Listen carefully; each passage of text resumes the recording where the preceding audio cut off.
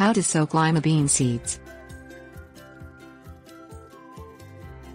Compared to other bean species, the larger size and thicker seed coat of lima beans means germinating them in the garden can take some time. While you can simply plant dried lima beans without any treatment, soaking them in lukewarm water first will increase the speed at which the beans will sprout. Soaking allows the water to pass through the seed coat, saturate the interior of the seed and trigger the germination process. After soaking, you can then plant your lima beans in your garden with a head start on sprouting. Things you'll need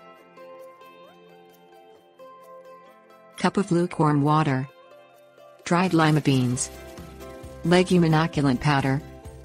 Prepare your seeds for planting in spring when the soil has warmed and there is no risk of frost. Lima beans are not cold tolerant. Place the lima beans in a cup of lukewarm water for 1 to 4 hours, depending on the size of the beans. Larger beans need a longer time for water to enter the bean. Remove the beans from the water after this time.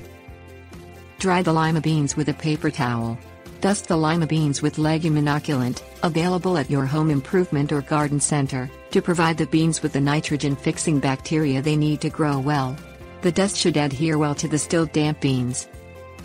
Plant the seeds immediately in warm, rich soil that drains well in an area of your garden that receives plenty of sun.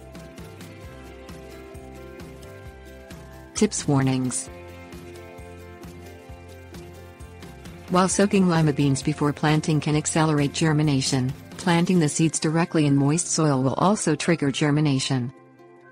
Do not soak lima beans sold for planting that are pre-treated with pesticides.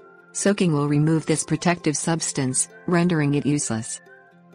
Do not soak lima beans for more than 4 hours to prevent them from splitting, which exposes the interior of the seed and promotes rotting.